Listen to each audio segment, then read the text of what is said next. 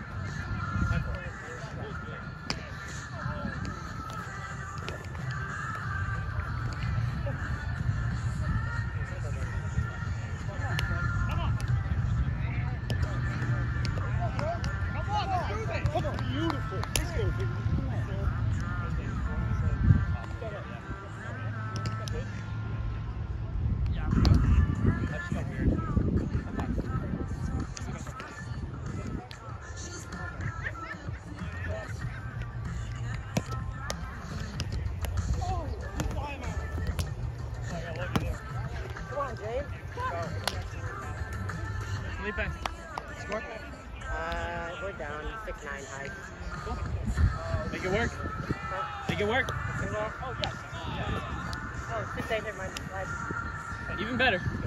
Come on, James.